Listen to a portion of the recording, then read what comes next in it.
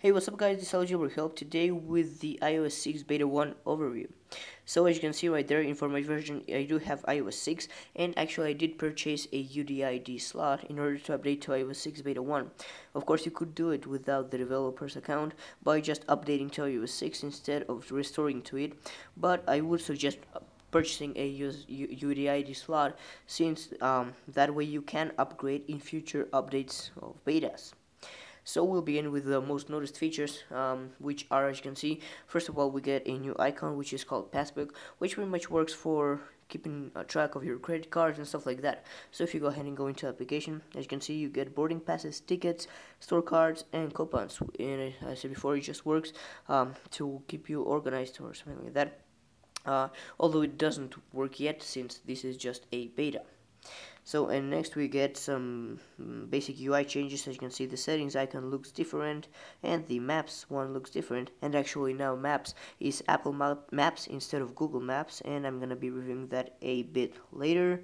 And also we do get Facebook integration as well as we did get Twitter integration in iOS 5 and now we do get Facebook integration.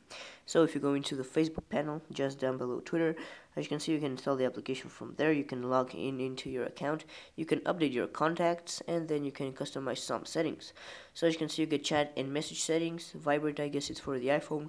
You can play the sound or not play the sound. Photo and video. You can enable recording HD video. Then you get push notifications uh, and then you get version and you can read about Facebook and all that stuff Next we get the integration of the jailbreak tweak do not disturb which as you can see it's exactly the same named although the icon did change a bit and if you enable that notice that on my status bar a little moon pops up and then if you go into notifications you actually get a panel for do not disturb so you can configure it there as you can see you get, you can just read a, a, a bit about uh, do not disturb then you can schedule and you can change the from and to so um, as you can see mine is from 10 p.m. to 7 a.m. and I can change that by going into here and then I can just change that then you can allow call calls from no one everyone you just your favorites or just all contacts and then you get repeated calls you can disable that or enable that. And then you just get your normal notifications as they were in iOS 5 and as you can see now the settings are um, kind of like organized in more sections than they were before. We get just for the connections then we get the not disturb notifications we get uh, the basic settings and then we have um, more basic settings such as iCloud mail notes reminders messages and all that stuff. And then we have Uh, this other section then we have the Twitter and Facebook section or the social section and then we just have the applications section as before. And actually now you do get privacy which if you go into there you'll see location services contacts calendars reminders photos and there you can just customize some different settings as you can see right there and also you can see in the settings application brightness and wallpaper are actually now combined. So there on the top you do get the brightness slider.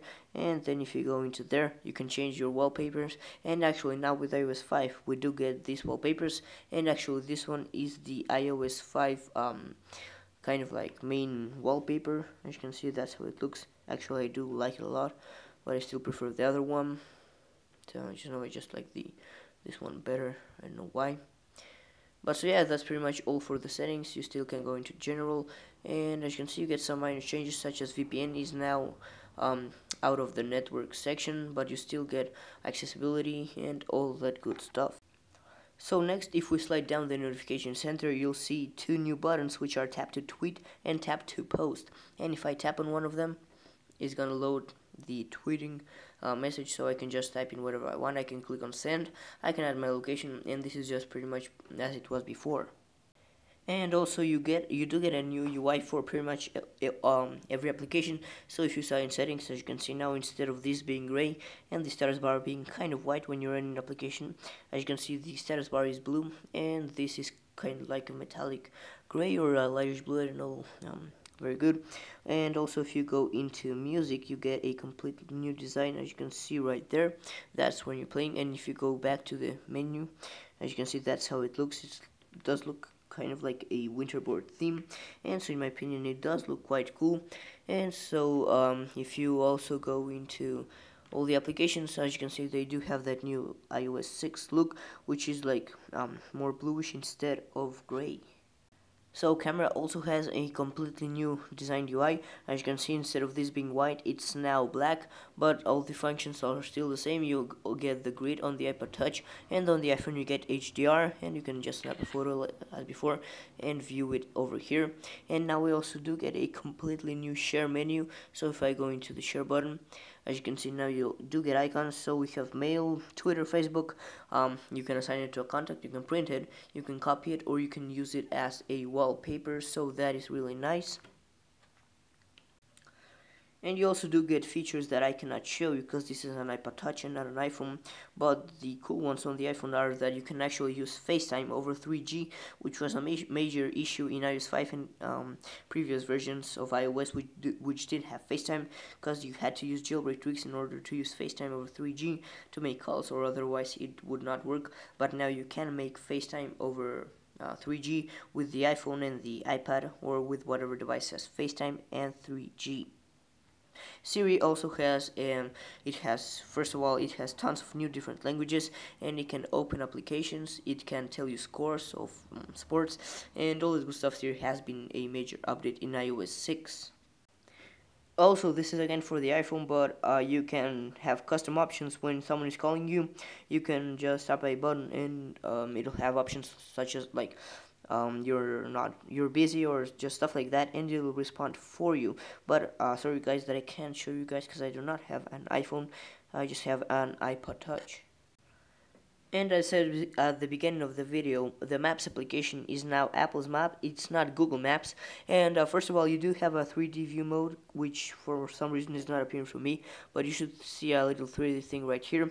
And if you tap on that, it'll just turn it into 3D uh, viewing mode. But unfortunately, that mode just works, um, I believe, in the United States, or even not in all the states right there.